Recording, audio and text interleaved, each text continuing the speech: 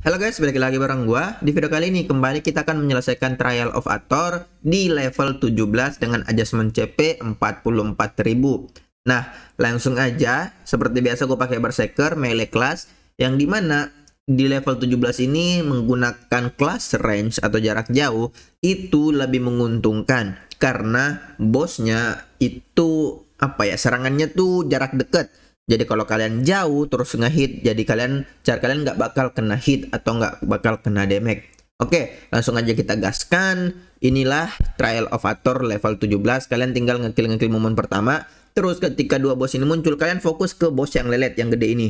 Nah, ketika darah bos itu berkurang sekitar 3 sampai 4 bar, maka momen-momen kecil bakal spawn. Nah, yang perlu kalian fokusin adalah momen yang di atas kepalanya ada tanda seru. Kenapa? Jangan semua karena capek habis waktu.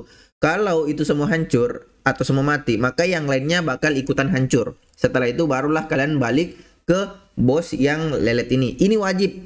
Jangan kalian nggak usah menghiraukan yang kenceng itu.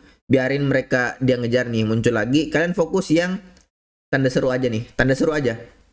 Nggak usah ngejar semuanya. Fokus aja yang ada tanda serunya. Karena nanti lihat ya. Nanti kalau udah habis semua ini yang lain otomatis hancur. Nah, yang lain otomatis hancur, otomatis hilang. Jadi sisa dua lagi. Nah, kalian tinggal fokus aja ke bos gedenya yang ini, yang lelet. Fokus itu aja karena yang ini hidup-hidup terus, dia bakal hidup terus dan bakal ngehil kehil terus gitu. Kalau ini mati baru kalian bisa menang. Nih, fokus lagi. Kalau nggak salah sih tiga kali ya, tiga atau empat kali momen-momen kecil ini muncul dan kalian harus ngehit doang yang ini, yang tanda seru. Tanda suruh mati, semuanya mati. Oke, balik lagi ke sini. Ke bos gedenya. Hati-hati ya, jangan sampai kalian kena hit itu sakit banget soalnya. Bisa one hit, one kill ini. Oke, ini sisa nambar lagi bosnya.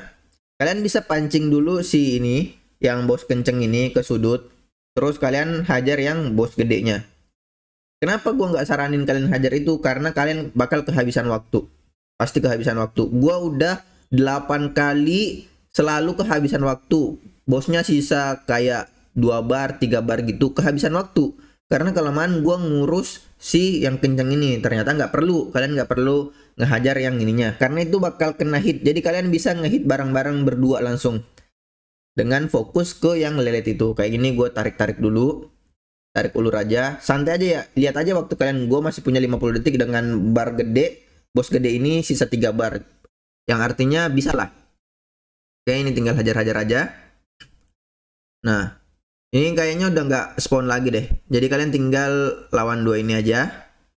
Tuh, bosnya sisa dua bar. Ini hati-hati aja, hati-hati kalian harus maintain uh, dodge kalian. Kalau dodge-nya habis, kalian mending mundur dulu karena itu sakit banget. Mending mundur dulu. Gua kesaranin tarik ulur aja. Tunggu dodge kalian ready baru gas lagi. Nah, kalian bisa lihat ya kayak gitulah. Kalian harus bisa memaintain dodge kalian ya jangan sampai kalau misalnya habis ya mundur aja dulu nggak apa-apa. Kalau kalian manual lebih enak cuma gua ya semi auto lah.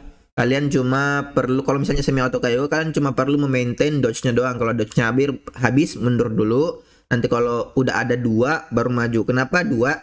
Karena kalian harus menghindari dua hit dari bos yang lambat dan dari bos yang cepat. Oke, itu dia cara menyelesaikan atur trial level 17. Kalau kalian punya trik yang lain silahkan sampaikan di kolom komentar. Makasih sudah nonton. Goodbye,